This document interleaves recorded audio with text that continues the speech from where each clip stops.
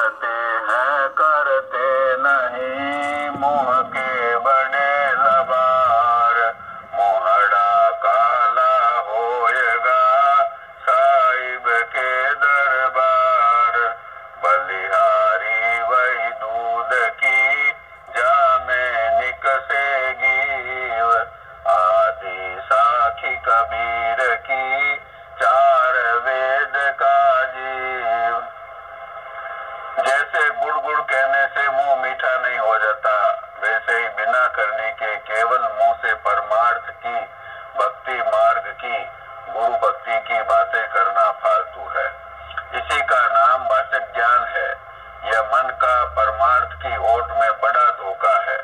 गुड़ का नाम लेने से नहीं, बल्कि गुड़ खाने से मुँह मीठा होता है।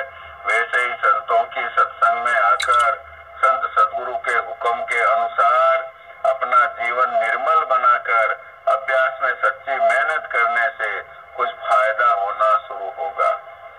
परमार्थ की तमाम कार्रवाई सच्चे गुरु की प्रसन्नता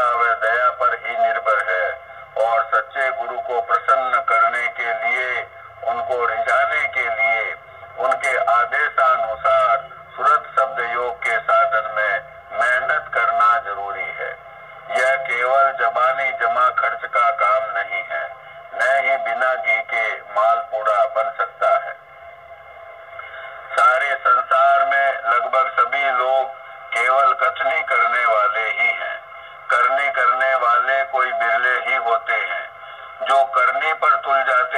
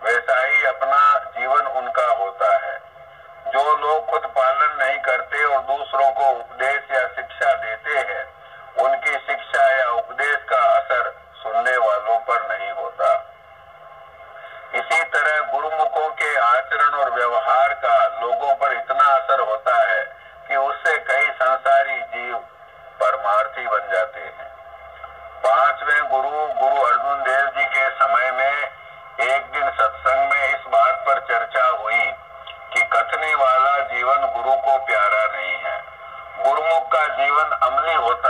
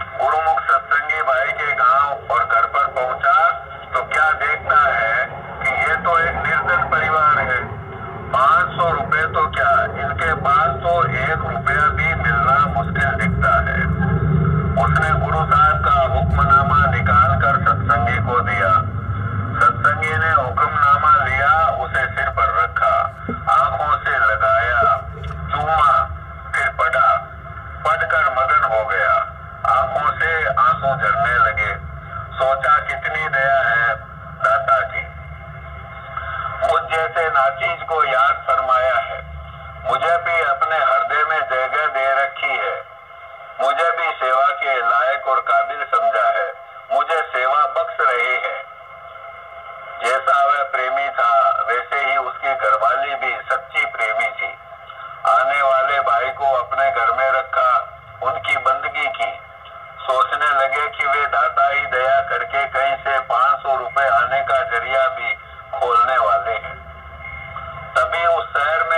के राजा का दौरा हुआ।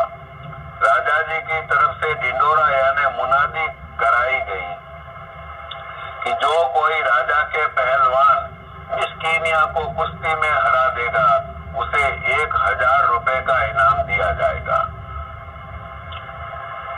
और जो कोई राजा के पहलवान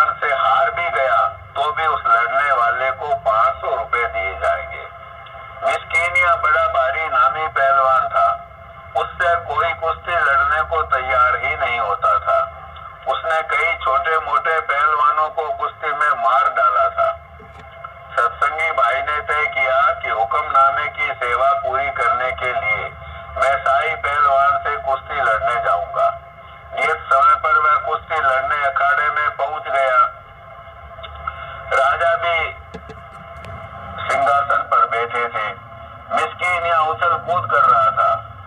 जब उसने इस गरीब, कमज़ोर व्यक्ति को आया हुआ देखा तो विचार किया कि ये मेरे सामने मरने को क्यों आया है।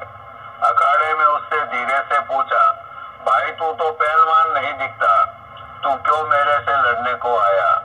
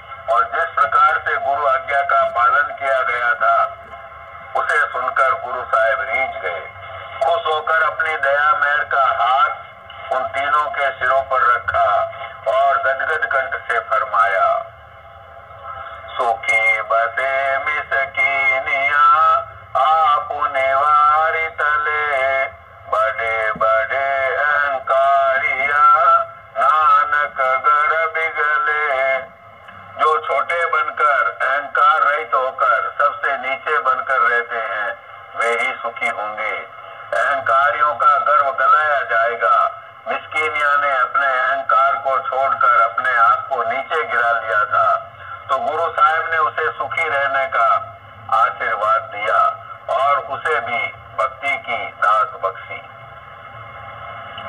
बिना पूरे गुरु के शरण के, बिना पूर्ण गुरु की कृपा के जीवन अमली यानी रहने वाला नहीं बनता। बाकी पूरा संसार तो कथनी का जीवन ही जीता है। पूरे सदगुरु ही रास्ता चलना सिखाते हैं, रास्ते के विघ्नों से बचाते हैं। जहाँ भूल चूक गलती हो जाती है। वहाँ सेवक की गलती माफ़ करके उसका काम बिगड़ने से बचाते हैं। सेवक की गलती सुधार कर फिर रास्ते पर आगे बढ़ाते हैं। मनुष्य तो भूल और गलती का पात्र है। गिरकर ही कोई पक्का सवार बनता है। इसलिए निराश होने की नहीं, मार्ग पर चलने की ज़रूरत है। जो रास्ते पर चलता ही नहीं, उसे तो कहीं पर नहीं पहुँचना है। जो चलता है वह एक दिन ज़रूर मंजिल पर पहुँच जाता है चाहे धीमे धीमे ही चले चले ज़रूर यही कथनी और करने का सार है सदगुरु कबीर साहब ने फरमाया है, चलते मार्ग जो गिरे ताको नाई दोष, कह कबीर बैठा रहे। चलते मार्ग जो गिरे ताको नाई दोष, कह कबीर बैठा रहे। सिर करड़े कोस। भय, भाव और अदब। डर करनी डर परम गुरु, डर पारस डर सार। डरत रहे सो उबरे, गाफिल खावे मार। मन का स्वभाव निरंकुश है। मन अपने पर किसी की हुकूमत नहीं चाहता है। भय, भाव और अदब प्रेम और दीनता की निशानी है। निडरता या निरंकुशता, अभाव और बेअदबी अहंकार के लक्षण और प्रकृतियाँ हैं। जिस जिस दशा में जो जीव है, वहाँ से उन्नति करने के लिए, विकास करने के लिए प्रकृति के रास्ते पर जाने के दो उपाय हैं। पहला रास्ता सहज, स्वाभाविक और गहरा प्रेम है। यदि हमारे में मालिक के प्रति या गुरुदेव के प्रति गहरा प्रेम हो तो हम निश्चित तौर पर सुधर जाएँगे। लेकिन गहरा प्रेम पहले होगा कहाँ से? जीव तो अनंत समय से माया के साथ रहने से अपना सहज स्वभाव, यानी प्रेम, भूल चुका है। तब दूसरा तरीका सुधरने का है डर का। दुनिया में मनुष्य जाति समाज बनाकर रहती है। तो कई प्रकार की सामाजिक मर्यादाओं के अंकुश सबको मानने पड़ते हैं। मुल्क का कानून है और उसके उल्लंघन पर दंड का डर सबको गलत काम करने से रोकता है। छोटा बालक घर में बहुत लाड प्यार से यदि पाला जाए तो वह लाड प्यार की अधिकता से मनमानी करेगा और किसी का कहना नहीं मानेगा। वही जब उस्ताद और शिक्षकों के हवाले किया जाएगा तो वहाँ सुधर कर सुशील बन जाएगा। कैसे? उस्ताद उस्ताद के अदब और डर से। यदि कानून के उल्लंघन पर सजा का डर न हो तो समाज में, शहरों में भी जंगल का राज कायम हो जाए। यदि बलवान, यानी बलवान यदि निर्बल का को सताएगा तो निर्बल या कमज़ोर का गुजारा नहीं होगा। यह डर ही है जो हमें दुनिया में भी भला नागरिक बनाता है। इसी तरह से दुनिया में लोग अपने परिवार के बुज़ुर्गों और बड़ों से बिरादरी और ख़ानदान की परंपरा और कुल की रीति नीति का विचार करके बहुत सी बुराइयों से बच जाते हैं। जो व्यक्ति जिन लोगों के संग और गिरोह में रहता है, उनकी भी नाराज़गी का काम नहीं करता। यही डर उस व्यक्ति को सुधार कर उसे भला बनाता है। प्रेम की दात तो निर्मलता आने पर ही मिलेगी तो प्रेम की ताकत से सुधरने का ज़रिया बहुत कम भाग्यशाली लोगों को मिलता है। हाँ डर से जो सुधार करके प्रेम के पात्र बन जाते हैं, फिर वे भी सच्चे प्रेमियों में गिने जाते हैं। जो संतों की सत्संग में शामिल हो गए हैं, उनको भी चाहिए कि वे सत्संग की ऊँची मर्यादा का पालन करें। यदि सत्संगी कहलाते हैं तो गलत काम करने से डरें। सत्संग सच्चे संत सदगुरु का कुटुंब है। उनका कहलाने के बाद हमें अपने खानदान के मुखिया बुज़ुर्ग की नाराज़गी की तरह, गुरुदेव की नाराज़गी से अवश्य डरना चाहिए। जितने डर हैं, जैसे मौत का, चौरासी का, नरकों का कठिन खोटे कर्मों का, बिरादरी और बुज़ुर्गों का, यहाँ के कानून कायदे का, इन सबसे डरकर गलत काम करने से बचा जा सकता है। इन सबसे उत्तम डर वह है, जिसमें हम अपने गुरुदेव की नाराज़गी से डरकर उन कामों को करने से बचें, जो गुरुदेव को प्रिय नहीं है। यह डर तो प्रेम की शक्ति के लगभग समान ही सात्विक और पवित्र है। प्रेम में व्यक्ति अपने प्रीतम की खुशी के काम करता है या उनकी नाराज़गी के डर से डरकर गलत कामों से बचता है। जब कोई सत्संग में शामिल हुआ तो सत्संगी के जगत के, दुनियादारी के व्यवहार में फ़र्क दिखना चाहिए। सत्संगी को चाहिए कि अपने निजी और दुनियावी फ़ायदे फ़ायदे के लिए किसी को दुख न पहुँचाए। दूसरों के अवगुण सुनने और कहने और मशहूर करने से बचे। किसी को धोखा न दें, अहिंसा का पालन करें, नेक और सच्चाई का आचरण करें। ईमानदारी और मेहनत का जीवन जिए, मीठे वचन बोलें, गलत जगह, गलत काम और गलत संग से बचें, नहीं तो गुरुदेव नाराज़ होंगे। गुरुदेव की इस नाराज़गी से तभी बचा जा सकेगा, जब मन पर गुरु की नाराज़गी के डर का अंकुश रहेगा। ऐसा डर, ऐसा प्यार और ऐसी अदब तभी दिल में आएगी जब सत्संगी गुरुदेव को मालिक समझेगा।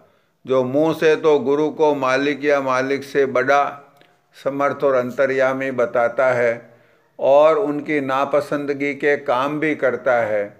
इसका मतलब यही है कि उसने गुरु को मालिक नहीं जाना, और ये कपट का नमूना है। निडरता और बेअदबी अहंकार है।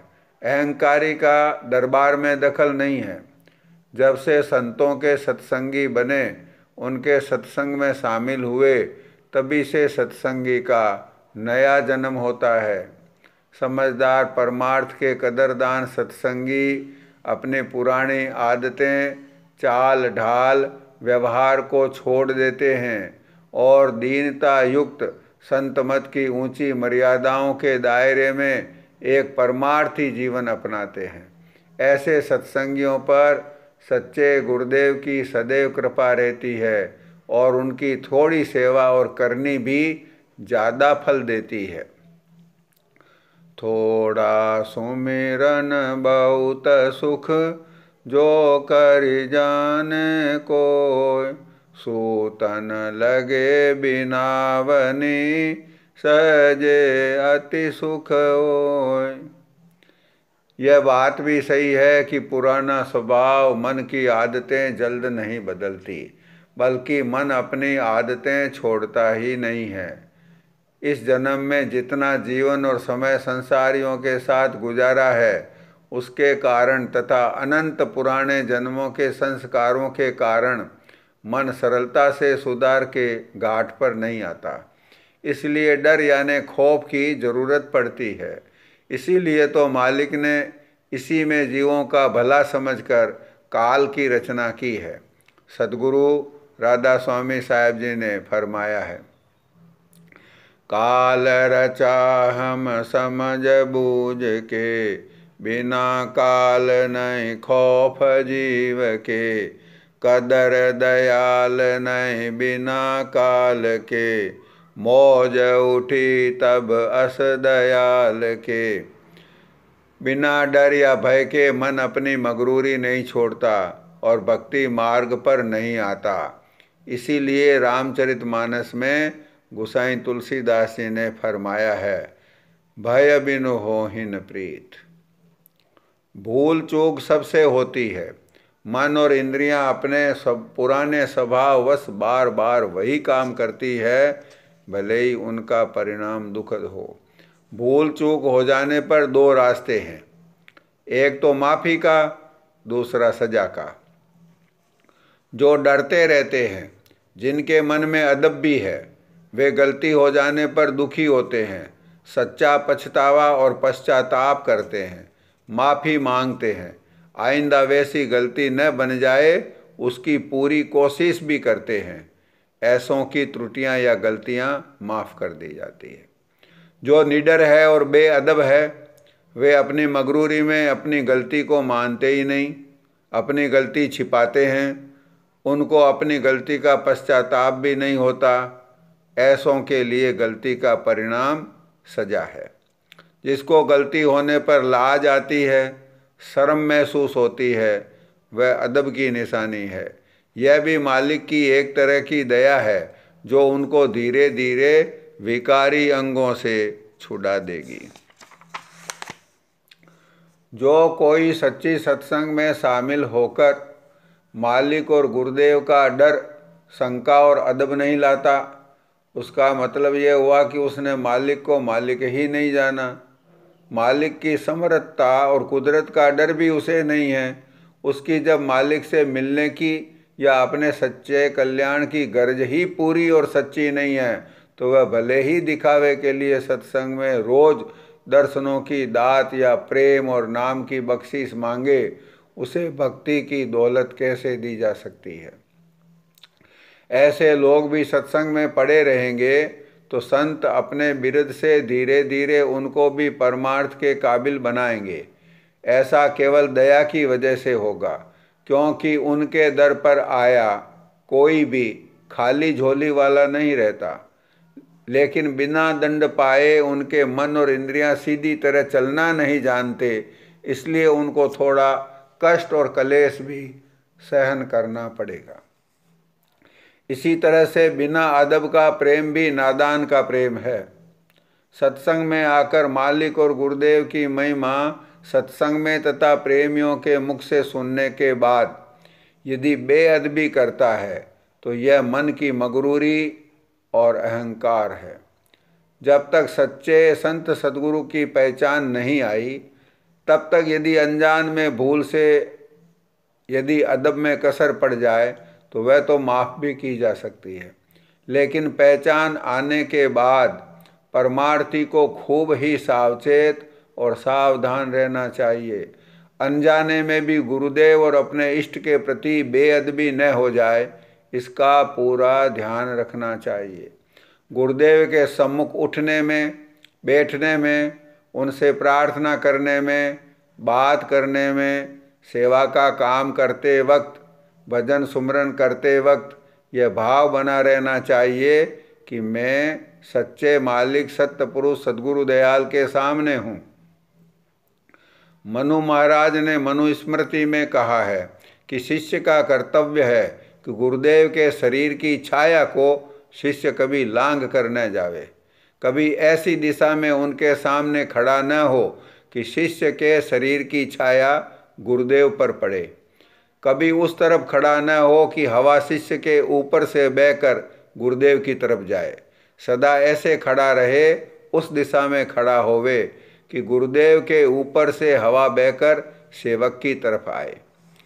रामचरित मानस के उत्तर कांड में एक प्रसंग में काग भुसुंडी जी अपने पूर्व जन्म के वृतांत में बताते हैं कि एक बार वे शिवजी के मंदिर में बैठे, शिवजी के नाम का जाप कर रहे थे। कि उनके गुरुदेव वहाँ आ गए। काग भुसुंडी जी अहंकार में बैठे रहे, उठकर प्रणाम नहीं किया। इस त्रुटि पर शंकर जी इतने क्रोधित हुए कि उन्होंने काग भुसुंडी जी को मतलब उनके पूर्व जन्म की कथा में, काग भुसुंडी जी को हज़ार त्रिजट योनियाँ और अजगर की योनि में जाने का श्राप दे दिया। अदब के पालन का भी रामचरित मानस में बड़ा सुंदर प्रसंग है। अयोध्या कांड में भगवान वन में पैदल जा रहे हैं। उनके पीछे पीछे सीता जी चल रही है। उनके भी पीछे लक्ष्मण जी इस तरह से चल रहे हैं कि भगवान के चरणों के निशान और सीता जी के चरणों के निशान पर उनका पाँव न पड़ जाए। वे उन दोनों के चरण चिन्हों को दाई दिशा में रखते हुए उनको बचाकर चलते हैं। इसी तरह से बाद में भरत जी पूरे राज समाज माताओं और वशिष्ठ जी के साथ अयोध्या से वन को रवाना हुए। श्रृंगवेरपुर में गंगा जी को पार करने के बाद वे पैदल नंगे पाँव चलने लगे। माता कौशल्या की ममता उभर आई। अपने रथ को भरत जी के पास ले जाकर बोली, पुत्र, तुम्हारे पैदल चलने से मुझे तथा पूरे अयोध्या वासियों को दुख होता है। तुम रथ पर चढ़ जाओ। भरत जी ने वहाँ जो जवाब दिया, वही आने वाले भक्तों के लिए प्रकाश स्तंभ बन गया। भरत जी ने वहाँ कहा, सिर भर जाऊँ उचित असमोरा सबसे सेवक धर्म कठोरा। सिर भर जाऊँ उचित असमोरा सबसे सेवक धर्म कठोरा। जिस मार्ग पर मेरे स्वामी पैदल गए हों, उस पर मैं रथ पर बैठकर नहीं जा सकता। मेरा फ़र्ज़ तो यह है कि इस रास्ते पर मैं पैरों पर चलकर नहीं, बल्कि सिर के बल चलकर जाऊँ। सेवक का धर्म यानी सेवक की मर्यादा बड़ी कठोर है। गुरु गीता में शंकर जी पार्वती जी को गुरु मर्यादा की शिक्षा देते हुए कहते हैं। हुङ्कारेण न वक्तव्यं प्राज्ञशिष्ये कदाचन। गुरोरग्रेण वक्तव्यं सत्यं तु कदाचन। गुरुं त्वं कृत्यं, हुं कृत्यं गुरुसन्निध्यभाषण अरण्ये निर्जले देशे संभवेद ब्रह्म राक्षस। गुरुदेव के सामने प्रज्ञावान शिष्य को कभी हुंकार शब्द से यानी मैंने ऐसा किया, मैंने वैसा किया। इस तरह नहीं बोलना चाहिए। और कभी असत्य नहीं बोलना चाहिए। गुरुदेव के समक्ष जो हुंकार शब्द से बोलता है, अथवा गुरुदेव को तू कहकर संबोधित करता है, वह निर्जन, निर्जल मरुभूमि में ब्रह्म राक्षस होता है। शिवजी पार्वती का यह संवाद स्कंद पुराण के उत्तरखंड में आया है। दुनिया में संस्कारी, सुसंस्कृत और सभ्य लोगों में अदब होती है। ऊँचे और मर्यादा वाले कुल और ख़ानदान में अदब होती है। ऊँचे घरानों के लोग बेअदबी से पेश नहीं आते। इसी तरह सत्संग में शामिल होकर जो अपने गुरुदेव की बड़ाई का विचार करते हैं, जो सत्संग को अपना कुनबा और सत्संगियों को अपना कुटुंबी जन मानते हैं, वे मालिक के आगे गुरुदेव के आगे और संगत के आगे दीन बने रहते हैं और इनके आगे अदब से पेश आते हैं। इससे उनको परमार्थी बख्शीश मिलती है। बड़ों की यदि कोई सेवा भी करे, लेकिन अदब न हो तो सेवा के साथ साथ अवज्ञा भी और बड़ों की यदि कोई सेवा भी करे, लेकिन अदब न हो और सेवा के साथ साथ अवज्ञा भी कर दे तो वह सेवा बड़ों को कभी खुशी नहीं दे सकती, उस पर बड़े प्रसन्न नहीं होंगे। इसलिए सेवा, सत्संग, आज्ञा पालन, यह सभी अच्छे काम अदब के साथ किए जाने चाहिए। दुनिया में भी जो कोई किसी फिरके या बिरादरी का सदस्य होता है, उस बिरादरी का बिरादरी का संगत का, उसमें जो बड़े हैं, उनका कायदा नहीं मानता। तो उसे उस समाज से निकाल दिया जाता है। काल पुरुष यानी निरंजन भगवान को, जो कि सत्य पुरुष, सदगुरु दयाल की कला हैं, उनके अवज्ञा भाव के कारण सत्यदेह से निकाला गया। अभ्यास का तात्पर्य। सुमरण, ध्यान और भजन ये तीन अभ्यास के प्रगट अंग हैं। इनका मतलब यह है कि सूरत जो देह में और देह के बाहर संसार में फैली हुई है, उसको समेट कर यानी बिखराव को समेट कर उसे तीसरे तिल में प्रवेश कराना। तीसरे तिल पर जो विशेष चैतन्य की धार, यानी शब्द की धार ऊपर से आ रही है, उसको पकड़कर अंतर में चलना। जब सूरत का बिखराव मिटेगा, सूरत एकाग्र होगी, तब शब्द प्रकट होगा। चंचल चित्त के साथ सूरत स्थिर नहीं है चलायमान है। तो ऐसी चंचलता के साथ सूरत तीसरे तिल में प्रवेश नहीं कर सकती और सूक्ष्म शब्द को नहीं पकड़ सकती है। सूरत चैतन्य की धार है सत्य देश से नीचे माया देश में उतरी तो उस पर माया का पर्दा यानी खोल चढ़ गया। और नीचे उतरी तो काल की धार जो कि संकल्प विकल्प रूप है, जिसे मन कहते हैं उसका आवरण इस पर और चढ़ गया। यानी मन की धार ने चैतन्य की धार को निगल लिया। मन की धार का एक और पर्दा इस पर चढ़ गया। अब सूरज चैतन्य की धार स्वतंत्र और आज़ाद नहीं रही। मन इसे उधर ले जाता है, जिधर का जैसा संकल्प उसके उठता है। जैसे नारियल की गिरी या बादाम या अखरोट पर कड़े आवरण चढ़ गए हालाँकि गुण और महत्व तो बादाम का है, लेकिन बादाम तब हाथ आएगी जब ऊपर का कड़ा आवरण तोड़ा जाएगा। अभ्यास का मतलब मन माया के कड़े पर्दे या खोल को तोड़कर सुरत यानी तवज्जह की धार को ऊपर निज घर की ओर मोड़ना। सुरत धार रूप है तो सदा ही प्रवाह रूप है। अभी तो यह माया देह और संसार की ओर बहकर जा रही है। क्योंकि मन माया के संकल्प विकल्प ही उठाता है। सूरत मन की, सूरत मन की धार की कैद में है। अनायास माया में गहरे की ओर बढ़ रही है और मालिक से ज़्यादा दूर हो रही है। अभ्यास उन क्रियाओं का नाम है जिनसे सूरत मन के पर्दे से बाहर आवे और इसका बहाव भगवंत की तरफ़ हो, और इसका बहाव भगवंत की ओर हो जावे। सुमिरन से पहले ही बिखरी हुई सूरत सिमटती है। इसलिए सूरत से सुमिरन, यानी पूरी तवज्जह से सुमिरन, तीसरे तिल के ठिकाने पर, यानी ध्यान के मुकाम पर करना चाहिए।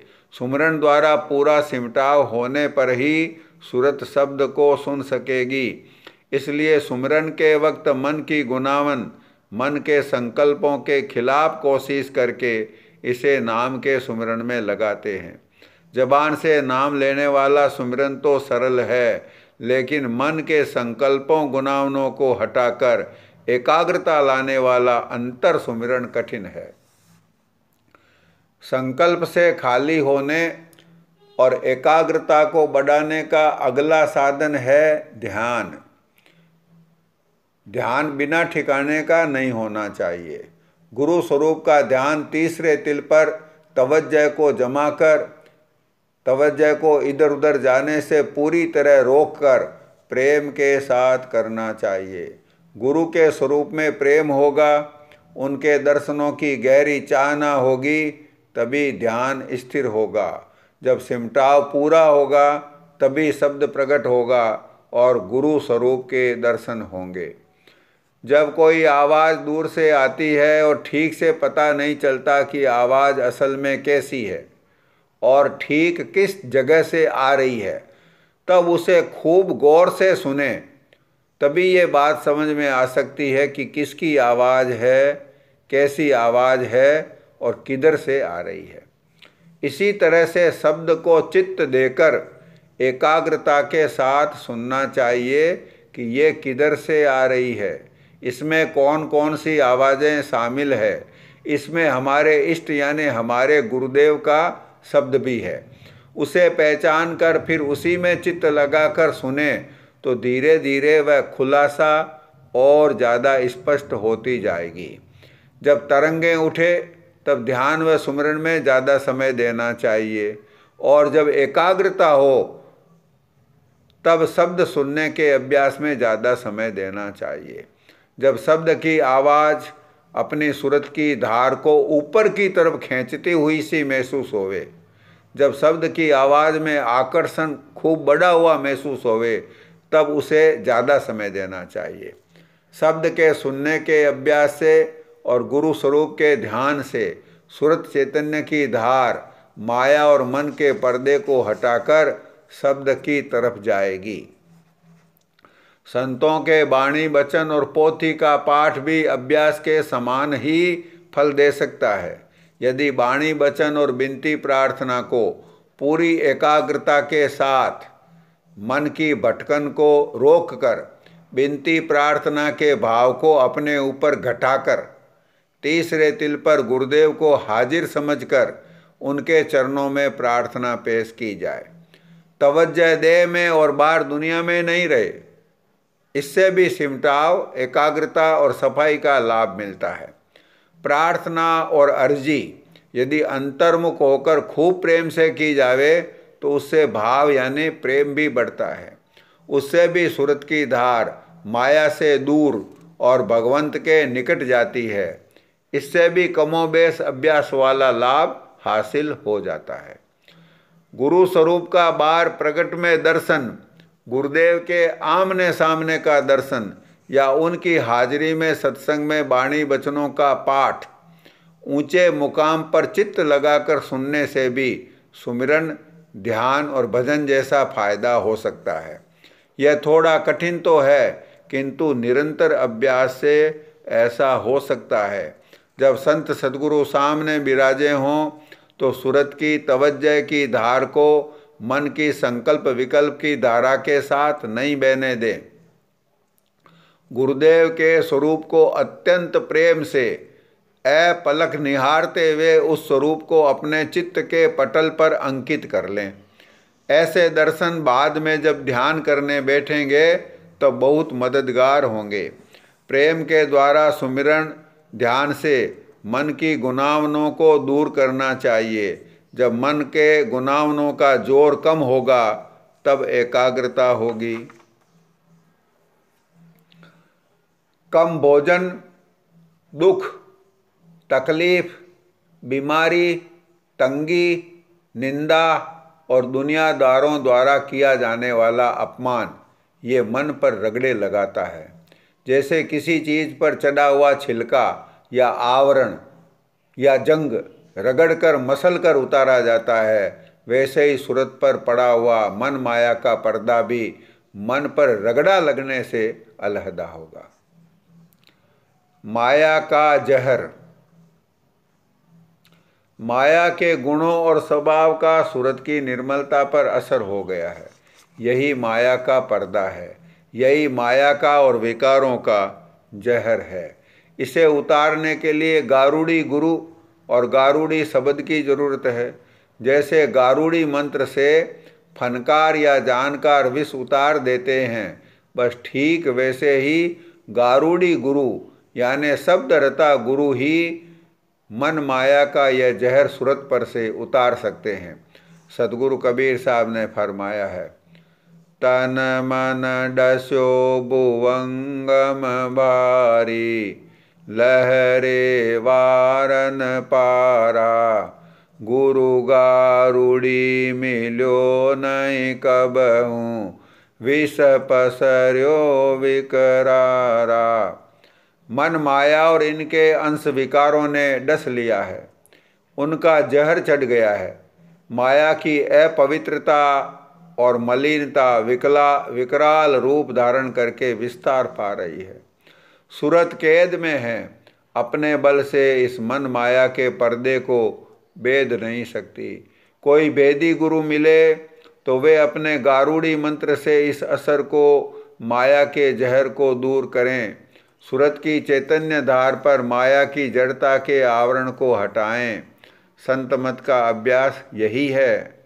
संतों ने फरमाया है कि यदि दुनिया के शरीर निर्वाह के तमाम काम करते हुए जो मुख्य तवज्जह शब्द धुन में या गुरु स्वरूप पर या तीसरे तिल पर नाम के अंतर सुमरण में जोड़े रख सकता है, वही सच्चा अभ्यासी है।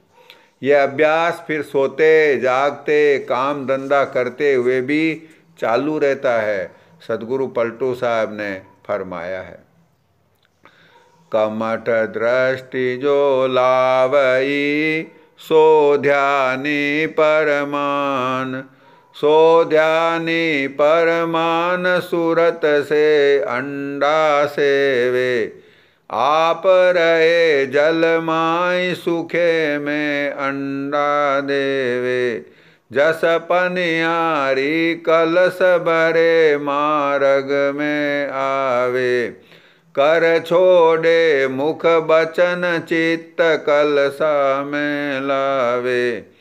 फणि मणि धरे उतार आप चरने को जावे। वह गाफिल ना परे सूरत मणि माई पलटू सब कारज करे, सुरति रहे अलगान। कमट दृष्टि जो लावई सो ध्याने परमान। शारीरिक परिश्रम और क्रिया। अभ्यास या योग शरीर से बनता है, लेकिन संतों का अभ्यास तवज्जह का खेल है। यदि दिन रात अभ्यास किया जावे तो इसका अर्थ हुआ कि शरीर स्थित चेतना को न बाहर दुनिया में न शरीर में नीचे की तरफ़ जाने देना, और तीसरे तिल पर या अंतर में ऊँचे मुकाम पर एकाग्र किए हुए रखना। तवज्जो को इस तरह ऊँची खींची हुई रखने में शरीर शरीर में मस्तिष्क की तरफ़ खून का दौरा ज़्यादा होता है, और उससे रक्त संचय दिमाग में बढ़ता है। यदि शारीरिक परिश्रम न किया जाए तो उस रक्त को वापस नीचे प्रवाह में न लाया जाए तो उससे शरीर क्रिया में अड़चन पैदा होगी। इसलिए अभ्यासी को शरीर से उसकी स्वयं की, अपनी उम्र खान पान आदि के अनुकूल कुछ शारीरिक मेहनत और परिश्रम भी ज़रूर करना चाहिए। इसीलिए संतों ने तन की सेवा और दुनिया में रहकर, यानी गृहस्थ में रहकर दुनिया के सब काम काज करने की परिपाटी जारी की। अभ्यासी सत्संगी की मुख्य तवज्जो अंतर में चरणों की तरफ़ खींची रहे और अपना दुनिया का काम भी यदि वह करता रहे तो उसका समय अभ्यास में लगा हुआ माना जाएगा। जोग जुगत आसन नहीं, साधन नहीं, विवेक साधन नहीं, विवेक साधन सबके के छूटा। लागी सहज समाधि शब्द ब्रह्मांड में फूटा। खंडन तनिक न होय तेलवत लागी दारा। ज्योति निरंतर बरे दसों दिशि उजियारा ज्ञान ध्यान सब छूटी छूटी संजम चतुराई। तन की सुधि गई बिसर अरूढ़ अवस्था आई पलटू मैं भजने भया रही न दूजी रे जोग जुगत आसन नहीं, साधन नहीं विवेक। सात बातों की संभाल। सच्चा परमार्थी, जो कि अपने सच्चे स्वामी के दर्शन अपने निज घर में पहुंचकर करना चाहता है, उसे नीचे लिखी सात बातें ज़रूर माननी चाहिए और उनके अनुसार व्यवहार करना चाहिए। तभी हृदय में प्रेम पैदा होगा और सात बातों की संभाल के साथ वह प्रेम दिन दिन बढ़ता जाएगा। यानी प्रेम का रंग चढ़ेगा और प्रेम का रंग गहरा होता जाएगा। इसके साथ ही दुनिया का रंग उतरता जाएगा। सात बातों की संभाल से मन का अंग यानी स्वभाव बदलेगा। विकारी अंग धीरे धीरे साफ़ होंगे। पहली, कुल मालिक सदगुरु दयाल के चरणों का प्रेम व प्रतीत। संत मत में सत्य पुरुष सदगुरु दयाल इष्ट हैं। सत्संग के वचन सुनकर तमाम भ्रम व संशय को दूर करके सच्चे मालिक के होने का भरोसा लाकर उनको अपना सच्चा स्वामी धारण करें। उनकी आशा, उनका भरोसा, उनका सहारा और उनकी शरण मज़बूत करें। उनकी मौजूदगी के बारे में उनका जीव के सच्चे हितेशी होने के बारे में, उनकी सर्वसमर्थता के बारे में रंच मात्र भी संशय व संदेह न रखे। कोई भ्रम व संशय हो तो उसे सत्संग में दूर करावें। यदि भ्रम और संशय का बीज किणका मात्र भी रह गया तो प्रेम व प्रतीत का भारी नुकसान कर देगा। भ्रम और संशय रह जाने से अभ्यास में कसर पड़ेगी। भ्रम और संशय की जगह अपने बड़े स्वामी का, उनकी दयालुता का और उनकी सर्वसमर्थता का और इस बात का कि मैं उनका सेवक हूँ। सत्संगी के मन में गर्व होना चाहिए। यह अभिमान जाय जन भोरे, मैं सेवक रघुपति पति मोरे। दूसरा सच्चे गुरुदेव के चरणों की प्रेम व प्रीत। सच्चे संत सदगुरु सत्यपुरुष सदगुरु दयाल के सरगुण यानी देहधारी रूप हैं। यदि संत सदगुरु के रूप में थोड़ा प्रेम, भाव, अदब नहीं होगा तो संत मत की समझ ही नहीं आएगी। घट के बंद पट केवल सदगुरु के प्रेम से ही खुलेंगे। जब गुरुदेव के देह रूप में सच्चा और गहरा प्रेम होगा तो अंतर में उनके प्रकाशमयी रूप में दर्शन होंगे और घट में शब्द प्रकट होगा। वहीं से आगे घट का बंद रास्ता खुलेगा। सिवाय इस एक तरीके के अंदर का पट खुलने का और कोई रास्ता नहीं है। सच्चे गुरुदेव के प्रति विश्वास और प्रेम निरंतर उनका संग करने से, निरंतर सत्संग करने से और अभ्यास में सच्ची मेहनत करने से बढ़ेंगे। सच्चे गुरु की पूरी रहनुमाई, यानी पूरी दया समाल और मदद के बिना महल में दखल नहीं मिल सकता। गुरु की प्रीति घट शब्द सुनाई, शब्द सुनत श्रुति घर को जाई। तीसरी समाल शब्द और नाम में प्रीत और प्रतीत। नाम और शब्द से मतलब उस चैतन्य शक्ति से है जो धुन रूप है और पूरी रचना का आधार है। जो धुन रूप है, वह ज्यों का त्यों बोलने और लिखने पढ़ने में नहीं आता। संतों ने अपने प्रेमी सेवकों को उसका लखाव घट में कराया। दुनियात्मक नाम से चढ़ाई होगी। बिना शब्द के मन किसी भी सूरत में जेर नहीं हो सकता। बगैर मन के काबू में आए माया के घेर से नहीं निकल सकते। वर्णात्मक नाम मन और अंतकरणों की सफ़ाई के लिए है। माया के दायरे यानी घेर से बाहर केवल नाम की धार ही ले जा सकती है और सच्चे पूरे गुरुदेव उसी शब्द या नाम के देहधारी रूप हैं और सेवक के अंग संग हैं। शब्द का पूरा भेद व साधन गुरु दया करके देंगे।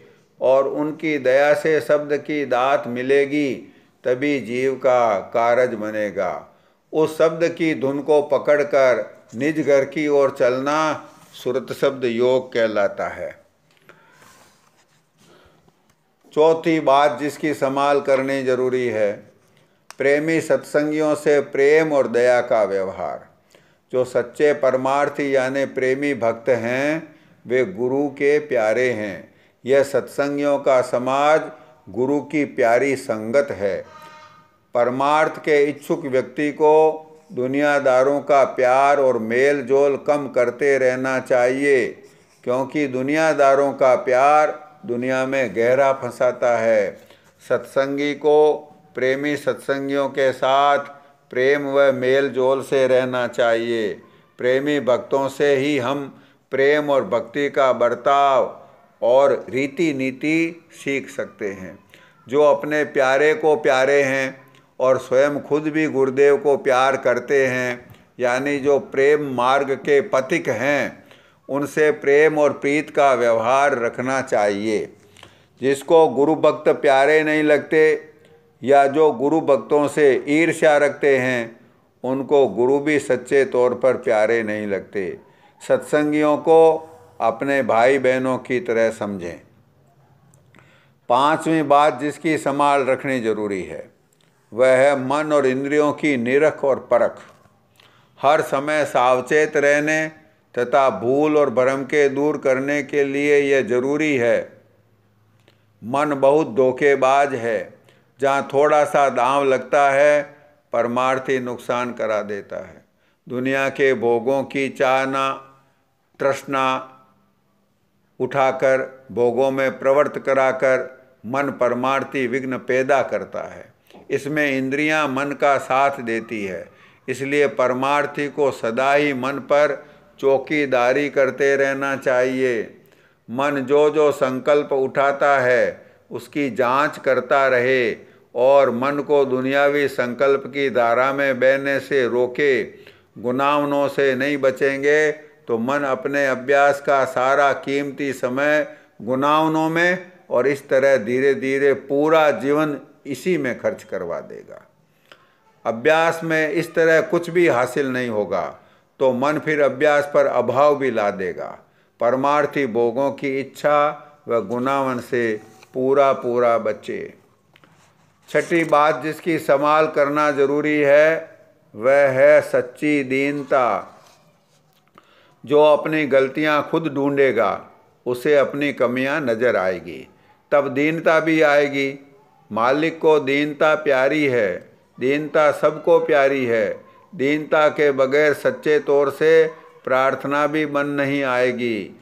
अहंकार का मसाला तो मन में पहले से ही धरा है। उसको निकालना ज़रूरी है। अहंकार भारी गंदगी है। बगैर दीनता के अहंकार नहीं गड़ेगा अहंकार सहित किया हुआ कोई काम, चाहे कितना ही अच्छा हो, उसकी गिनती नहीं है। परमार्थ में विघ्न भी बहुत हैं, उन सबसे बचने का उपाय केवल दीनता ही है। जो दीन है, अपने को कसूरवार और छोटा मानकर दया की मदद माँगता है और गलतियों की क्षमा माँगता है, उसी पर दया की जाती है और उसी की भूल चूक माफ़ फरमाई जाएगी। जो अपने को ठीक और पूरा समझता है, कभी अपनी गलती नहीं मानता, उसकी आगे तरक्की भी नहीं होगी। आगे सुधार का रास्ता बंद हो जाएगा। जब तक अपना काम पूरा नहीं बन जाता, तब तक परमार्थी का कर्तव्य है कि जतन करना चालू रखे और दीनता और प्रार्थना करता रहे। जो सच्चा दीन होकर माँगता है, मालिक उसे भक्ति का दान देते हैं। मालिक के घर कोई कमी नहीं है। सातवीं बात जिसकी संभाल करना ज़रूरी है, वह है मौज के साथ मुआफ़त मौज के अनुकूल रहना, मालिक और गुरुदेव की रजा और प्रसन्नता में अपना जीवन जीना भक्ति का खासम खास अंग है। मौज के साथ रहने का मतलब है मन की इच्छा को त्यागना मौज के साथ मुआफ़त तो पूरी गुरुमुखता का नाम है, फिर भी सत्संगी को दिन दिन मौज के अनुकूल रहने की कोशिश बढ़ाते रहना चाहिए। मालिक या गुरुदेव की इच्छा के खिलाफ काम करके उनको प्रसन्न नहीं कर सकते। जो मन के कहे में चलते हैं, वे ही काफिर हैं। मन के कहे को छोड़कर, गुरु के कहे में चलना ही भक्ति मार्ग का सार है। बगैर मौज का आधार लिए, बगैर उनकी आज्ञा पालन और उनकी प्रसन्नता के परमार्थ की शुरुआत ही नहीं होगी। यदि कोई अपने गुरुदेव के वचनों पर इतना अडिग हो कि उस पर मर मिटे तो इतने में उसका पूरा परमार्थ सर्वांग तौर पर बन गया। सच्चे गुरुदेव की मौज कभी मसलहत से खाली नहीं होती। हालाँकि जीव अपनी बुद्धि से उस मौज की मसलहत को जान भी नहीं सकता। जीव का फ़र्ज़ है, बगैर ज़्यादा सोचे समझे, बगैर ज़्यादा सोचे विचारे, हर मौज को दुख में भी, सुख में भी अपना हितकारी जानकर मौज में प्रसन्न रहना सीखे। मन मुरीद संसार है, गुरु मुरीद कोई साध। जो माने गुरु बचन को ताका मता अगाध। मन मुरीद संसार है, गुरु मुरीद कोई साध। जो माने गुरु बचन को ताका मता अगाध। याद रखने की तीन बातें और भूलने की तीन बातें। याद रखने की तीन बातें। पहली बात जो याद रखनी है, वह है मालिक का नाम और गुरुदेव। इस बात को समझकर कि इस जगत में केवल सच्चे गुरु और उनका दिया हुआ नाम ही केवल सत्य है। रात दिन इन दो को ही याद रखे। नाम और गुरुदेव का रूप, यानी नाम के सुमरण में और गुरुदेव की याद के बगैर एक श्वास भी फालतू न जाने देवे। नाम को ऐसा हृदय में बसावे कि सोते हुए भी उसी में बहलता रहे। इन दो परम तत्व या परम सत्य के अलावा यहाँ दुनिया में सब माया है, सब झूठ है। काल का जाल है, हरगिज हरगिज उनको याद न करे।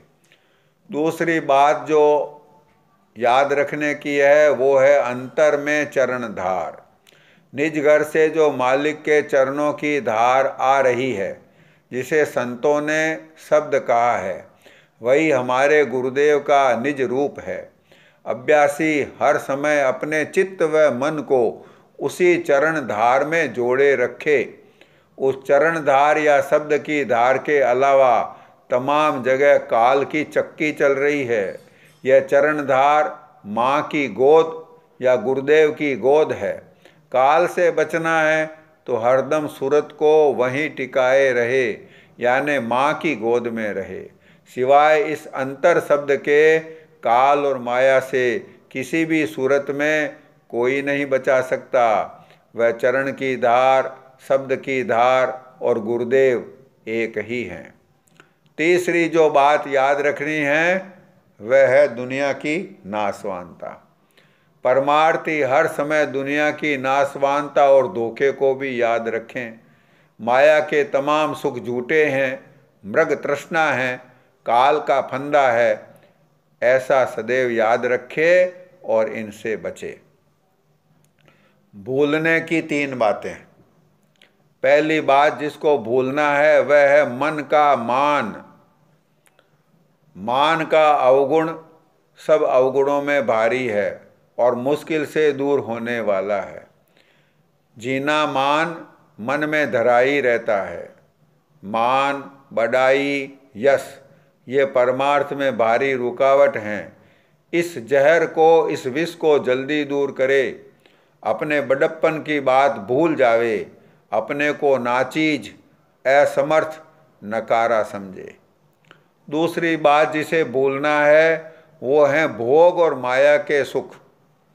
प्रेमी और सत्संगी को माया के, मन के, इंद्रियों के भोगों को चित्त से बिसारना चाहिए। भोगों की ख्वाहिश सुरत चैतन्य की धार को नीचे और बाहर की तरफ़ बहाते हैं। भोग और सुख माया का चारा है। इनको भूलना ही बेहतर है। इनमें खींच शक्ति बहुत है। भोगों और उनकी गुनावन से बचे, भोगों और उनकी गुनावन से बचे बगैर परमार्थ नहीं कमा सकते। भूलने की तीसरी बात, भोगों की गुनावन, मनसा, तृष्णा, संसार का भरोसा। भोगों की गुनावन भोगों से कम खतरनाक नहीं है। रात दिन भोगों के विषय में चिंतन से, विषय विकारों के संस्कार सूक्ष्म रूप से अवचेतन में बस जाते हैं। ऐसे ही दुनिया की आशा, माया की मनसा, दुनिया का भरोसा ही अपने दिल से दूर कर देना चाहिए। ये अपने प्रीतम गुरुदेव को अपने मन मंदिर में बिठाने के लिए घट की सफ़ाई करना है।